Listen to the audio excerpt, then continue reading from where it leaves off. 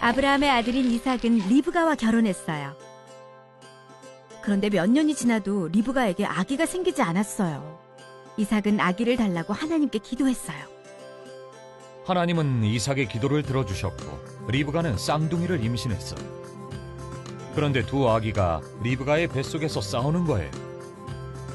왜 이런 일이 일어난 건지 리브가는 하나님께 물었어요. 하나님은 리브가에게 하나님의 특별한 계획을 알려주셨어요.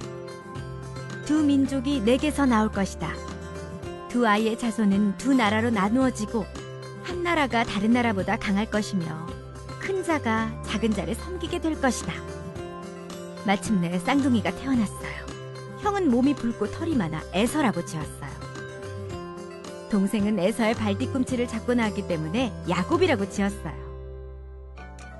하나님은 이삭의 아버지 아브라함과 맺으신 언약을 이삭과도 맺으셨어요. 이 모든 땅을 너와 네 자손에게 주겠다. 네 자손은 하늘의 별과 같이 많아질 것이다. 땅의 모든 나라가 네 자손을 통해 복을 받게 될 것이다. 네 아버지 아브라함이 내 목소리를 들었고 순종했기 때문이다. 몇 년이 흐른 후 이삭의 아들 에서와 야곱은 크게 다투었어요. 야곱이 이삭을 속여 에서의 복을 가로챘기 때문이었죠. 야곱은 살기 위해 가족을 떠나야 했어요. 외삼촌 라반의 집으로 도망하는 길에 야곱은 들에서 돌베개를 베고 하룻밤을 보냈어요.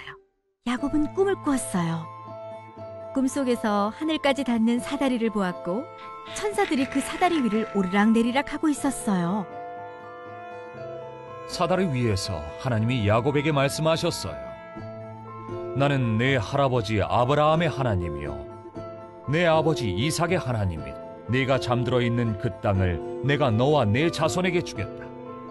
하나님은 아브라함과 맺으신 언약을 손자인 야곱과도 맺으셨어요. 야곱의 자손이 땅의 티끌만큼 많아져 동서남북으로 퍼져나가고 땅의 모든 민족이 내 자손을 통해 복을 받게 될 거라고 하셨어요.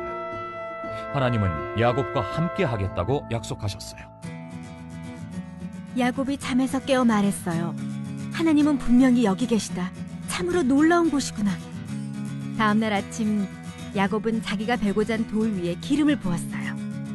하나님이 자신에게 말씀하신 장소를 기억하기 위해서였죠. 야곱은 그곳을 베델이라고 불렀어요. 야곱은 하나님이 약속을 지켜주시면 하나님을 따르며 하나님께 영광을 돌리겠다고 약속했어요. 하나님이 아브라함에게 주신 놀라운 계획은 아브라함이 죽은 뒤에도 이어졌어요. 이 계획은 리브가와 이삭, 야곱을 거쳐 한 나라 전체로 이어졌어요. 마침내 아기 예수님이 태어나실 때까지 말이죠. 예수님은 모든 하나님의 백성에게 구원과 구속을 베푸시려는 하나님의 계획을 이루셨어요.